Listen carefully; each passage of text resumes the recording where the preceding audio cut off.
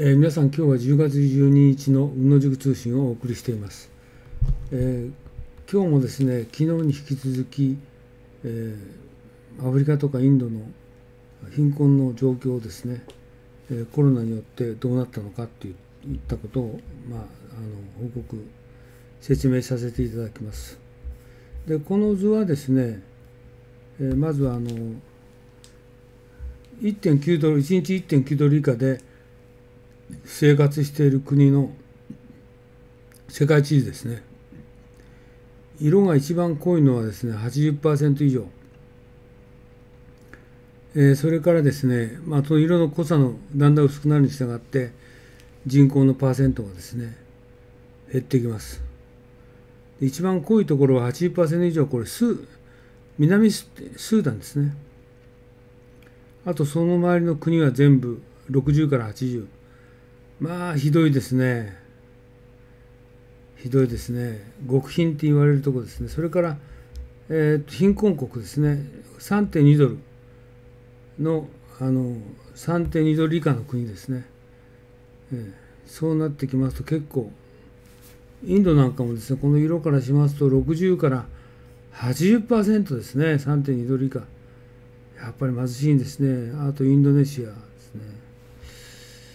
これは多分こっちのあのこれはコロンビアですね。うん。えー、っと3.2ドル以下えー、っとこれイエメンですねこれ。で実際にですね本部入ってきますね。当面彼らは政府の援助に期待するしかない。過去6ヶ月で212カ国が1179の援助策を実施し20億人以上20億人を対象とした。食料援助とか電力料金の支払い免除を行いさらにいろいろな方策を考えてきた。ケニアでは2万6000人に臨時の仕事を提供しモンテネグロでは雇用主に新規雇用には最低賃金の70%を国が助成していると。現金支給支給は昔から容易な対策なので政治家が好んで支持してきていて、まあ、一般的ですと。IT 技術も貢献している。フィリピンの IT システムやチュニジアの電子支払いシステムは貧困者に迅速に支払いをすることができできている。今後ではスマホのデータから貧困者の場と場所を特定し e ウォレットに送金しようとしている。7月にはここの中央銀行は現金支給のための特別口座をオンラインで作ろうとしている。しかしこうしたことは政府に財政的な余裕がある場合に限られる。貧困国は平均で1日あたりわずか4ドルしか支給しなかったが欧米諸国では695ドル支給している。今後では首都と被害の激しい地域の200万人に5000万ドルを支給し1人当たり25ドルになると。他の諸国では政府は対応が取れていない。6月にエチオピアでは過去3週間で家庭の2%しか政府の援助を政府の援助を受けていない。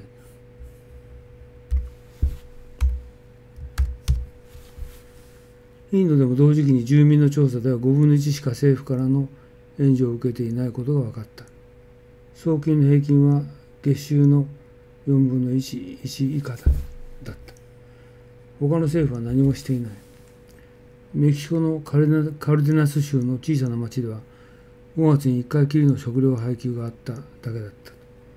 大統領のオブラドールは2018年の就任以来年金若者の研修制度植樹などの数多くの福祉政策をしてきたのだが今回のコロナでは何もしていない。田舎よりも都市の貧困者の唾液が大きかったので政府は対策を考える必要がある。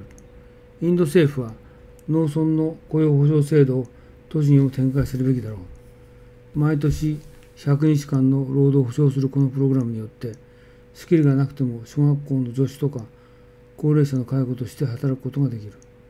都市が回復すれば希望が持てる。新興市場を持った政府は今年の半年で1240億ドルの債務を負った。それも限度がある。債務支払い能力の格先がこの国に起こってきているとインドですね。富裕国や国際機関からの援助が当てにならない。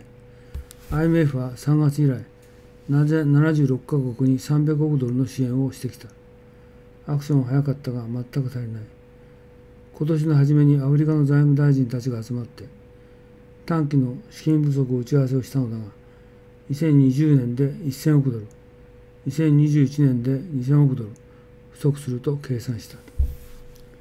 G20 は世界で最も貧しい73カ国の債務を今年の12月まで支払いを延期することに合意した。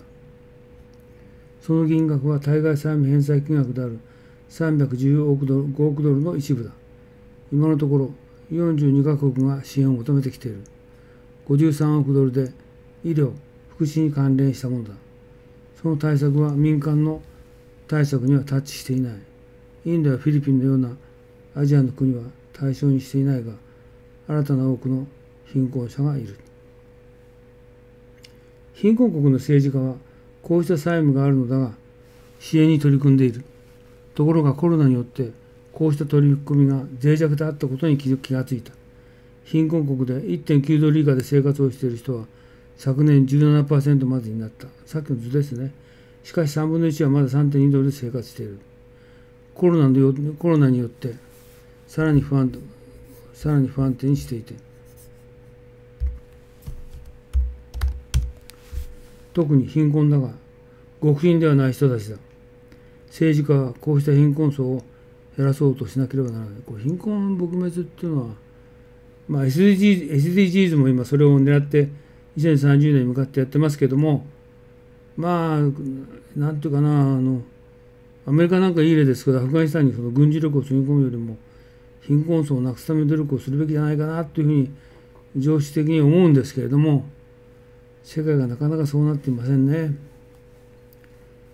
中国もね習近平が貧困なくなったっていうけどこの間あの李克強がね6億人が140 140ドル月の月間140ドル生活してるのは6億人いるって暴露しましちゃいましたしね。あそこ 10, 10億人が、えー、と月300ドルぐらいですかね。10億人。いやだから我々誤解しないしちゃいがちですけども中国は貧しいんですよね、まあ、そこそこ生活してるのはあの沿岸州のあの3億人ぐらいですからね。だからそういうふうな意識はやっぱり我々持たなくちゃいけないんですよね。まあ、独裁国家であって、まあ、アメリカが叩いてますけど、うん、難しいところですね、この貧困問題の話になりますとね。だから中国は発展途上国だっていうのは事実なんですよ。でも一方で豊かなところがあるんでね、なかなか問題が複雑。